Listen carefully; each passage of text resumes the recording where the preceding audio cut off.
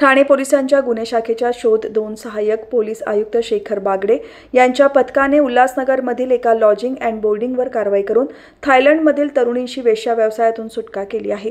पोलिसांनी दिलेल्या माहितीनुसार थायलंडमधून काही तरुणी पैशाच्या आमिषाला बळी पडत उल्हासनगरमध्ये वेश्या व्यवसाय करत असल्याची माहिती पोलिसांना मिळाली होती. तसेच उल्हासनगरच्या hotel Sitara lodging and boarding section सतरा उल्हासनगर तीन येथे वेश्या व्यवसाय चालू असल्याची बातमी खंडणी विरोधी पथकाला मिळाली होती.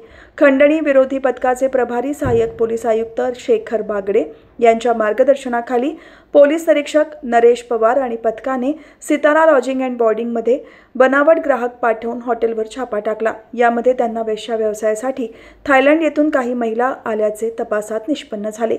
या प्रकरणी पोलिसांनी लॉजचे मॅनेजर कुलदीप उर्फ पंकज जयराज सिंग यांच्यासह चार कामगारांना पोलिसांनी ताब्यात घेतले. या कारवाईमध्ये पंधरा पीडित तरुणींची पोलिसांनी सुटका केली असून हॉटेलमधील पाच लाख सत्तावीस हजार रोख आणि वस्तू पोलिसांनी जप्त करून लॉजिंग अँड बोर्डिंगचे मॅनेजर आणि तेथे काम करणाऱ्या चार कामगारांविरुद्ध गुन्हा दाखल केला आहे. एक पंधरा ते पंधरा मुली आणून काही व्यवसाय उल्हासनगर येथील hotel Sitara lodging and boarding येथे उल्हासनगर येथे चालू आहे. तर त्या बातमीवरनं आमची खंडणी विरोधी पथकातील P I Naresh Pawar.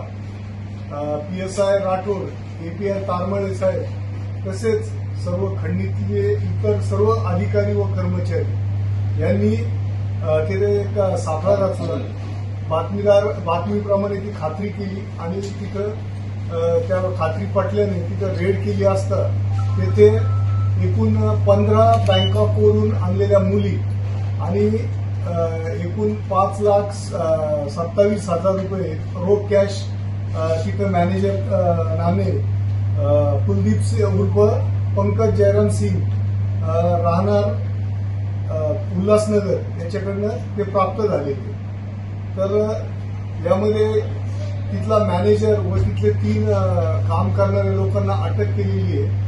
आणि इतर जे काही अजून म्हणजे ज्या हॉटेलचे मालक कोण आहे या मुलींना कुणी आणलं हा सर्व तपास आता या प्रक्रियेनंतर सुरू होणार. आहे